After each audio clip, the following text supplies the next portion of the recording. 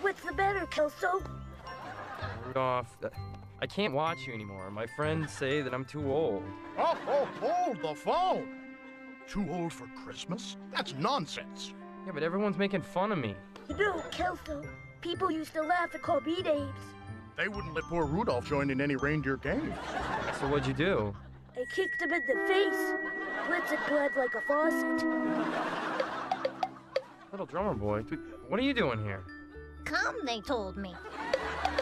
No, but what am I supposed to do? Uh, all my friends are gonna think that I'm a baby if I keep watching your shows. Oh, screw those dumbasses! They're too old for Christmas specials. That's their loss. Can I go now? I'm very cold. Kelso, as long as you really, really believe in our magical world, nothing in life can ever hurt you. So I can watch.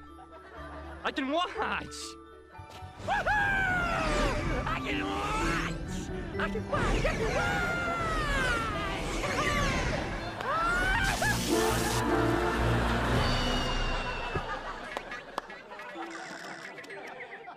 Look at that face. Nice kid. Happy.